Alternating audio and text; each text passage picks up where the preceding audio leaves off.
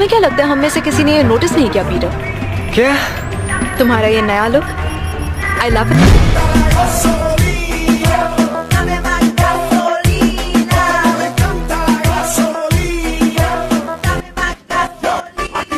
Gasolina,